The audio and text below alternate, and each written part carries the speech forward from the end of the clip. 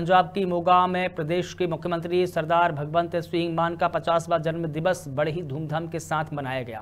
उनके जन्म दिवस के मौके पर पूरे प्रदेश में रक्तदान कैंप लगाए जा रहे हैं। सीएम भगवंत मान के जन्मदिन पर मोगा के डिप्टी कमिश्नर कुलवंत सिंह और विधायक निहाल सिंह बाला ने रक्तदान कैंप को शुरू करवाया। इस दौरान ज़िले के युवाओं में खासा उत्साह देखने को मिला है। रक्तदान के माध्यम से सभी युवाओं ने सीएम भगवंत मान को जन्मदिन की बधाइयाँ दी।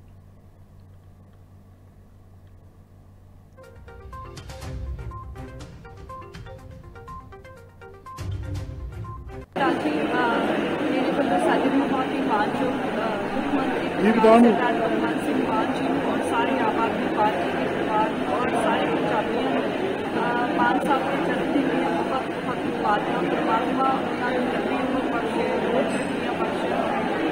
ਸਭ ਤੋਂ ਪਹਿਲਾਂ ਤਾਂ ਸਾਡੇ ਬਹੁਤ ਹੀ ਸਤਿਕਾਰਯੋਗ, ਮਾਣਯੋਗ ਮੁੱਖ ਮੰਤਰੀ ਸਾਹਿਬ ਸਰਦਾਰ ਭਗਵੰਤ ਮਾਨ ਜੀ, ਇਹਨਾਂ ਨੂੰ ਜਨਮ ਦਿਨ ਦੀਆਂ ਬਹੁਤ ਬਹੁਤ ਵਧਾਈਆਂ।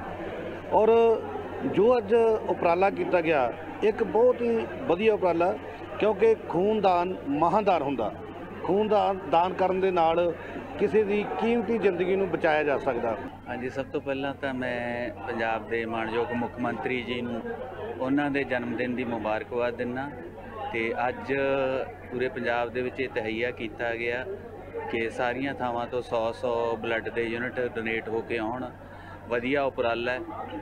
ਇਹਦੇ ਨਾਲ ਕਿਸੇ ਲੋੜਵੰਦ ਦੀ ਕਿਸੇ ਜ਼ਖਮੀ ਦੀ, ਕਿਸੇ ਮਰੀਜ਼ ਦੀ ਜਾਨ ਬਚ ਜੇਗੀ।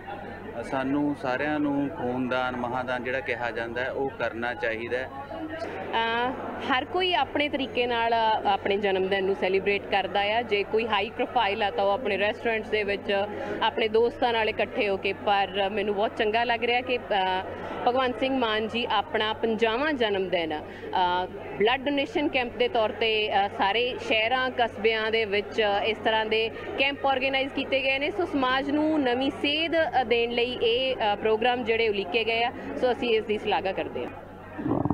ਸਰਦਾਰ ਭਗਵੰਤ ਸਿੰਘ ਜੀ ਮਾਨ ਜੀ, ਪਹਿਲਾਂ ਤਾਂ ਉਹਨਾਂ ਨੂੰ ਅਸੀਂ ਲੱਖ ਲੱਖ ਵਾਰ ਵਧਾਈਆਂ ਦਿੰਦੇ ਆ ਮੇਰੇ ਬਹੁਤ ਸਤਿਕਾਰਯੋਗ ਵੀਰ ਚੇਅਰਮੈਨ ਸਾਹਿਬ, ਸਾਡੇ ਐਮਸੀ ਸਾਹਿਬ ਤੇ ਜਿੰਨੇ ਵੀ ਵਲੰਟੀਅਰ ਤੇ ਮਾਨਯੋਗ ਐਮਐਲਏ ਸਾਹਿਬ, ਸਾਰਿਆਂ ਦੇ ਵੱਲੋਂ ਅਸੀਂ ਉਹਨਾਂ ਨੂੰ ਬਹੁਤ ਬਹੁਤ ਮੁਬਾਰਕਾਂ ਦਿੰਦੇ ਆ ਜਿੱਥੇ ਕਿ ਇਸ ਖੁਸ਼ੀ ਨੂੰ ਮੁੱਖ ਰੱਖਦੇ ਹੋਏ, ਉਹਨਾਂ ਸ਼ਹੀਦਾਂ ਨੂੰ ਯਾਦ ਕਰਦੇ ਹੋਏ, ਕਿਉਂਕਿ ਉਹਨਾਂ ਸ਼ਹੀਦਾਂ ਦੇ ਪੂਰਨਿਆਂ ਤੇ ਚੱਲਦੇ ਹੋਏ ਸਾਡੇ ਸਰਦਾਰ ਭਗਵੰਤ ਸਿੰਘ ਜੀ ਮਾਨ ਜੀ ਦੀ ਸੋਚ ਇੱਕ ਸ਼ਹੀਦਾਂ ਨੂੰ ਸਮਰਪਿਤ, ਜਿਹੜਾ ਕਿ ਅੱਜ ਸਰਦਾਰ ਭਗਵੰਤ ਸਿੰਘ ਜੀ ਦੇ ਜਨਮ ਦਿਹਾੜੇ ਨੂੰ ਮੁੱਖ ਰੱਖਦੇ ਹੋਏ